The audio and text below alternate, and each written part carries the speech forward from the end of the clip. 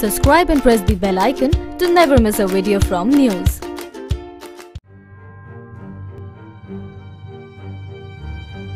A sudden change in weather on Wednesday wreaked havoc in different parts of India.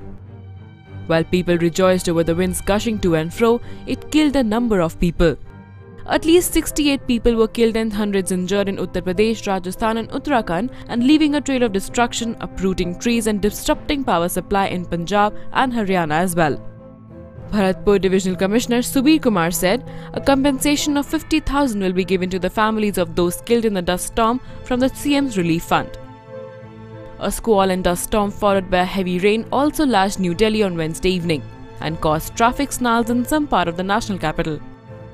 Apart from the traffic snarls, 15 flights, including two international, were diverted due to the bad weather. Forecast says overcast skies along with the possibility of a drizzle on Thursday as well. NYOOOZ Desk.